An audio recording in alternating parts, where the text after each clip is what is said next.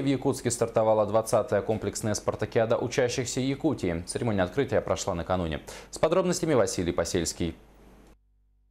С давних времен древнегреческого стадиона Афины зажигается огонь Олимпийских игр. И спортивная Якутия, следуя славной традиции, продолжает эстафеты зажжения огня международных спортивных игр «Дети Азии» со священной горы Кигелях, а игр Василия Манчары с его родного Ласа Рылах, Мегана Кангаласского Луса.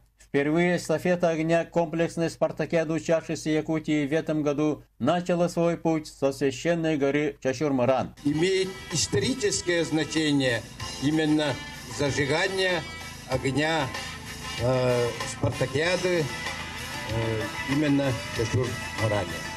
Право зажечь огонь 20-й юбилейной спартакиады предоставлено воспитаннице детско-юношеской спортивной школы номер один города Якутска, чемпионке России по легкой атлетике среди школьников Диане Адаська. И я уверен, что наши молодые спортсмены по всем этим восьми видам спорта покажут настоящую, красивую борьбу, захватывающую борьбу и порадуют наших зрителей своими баталиями.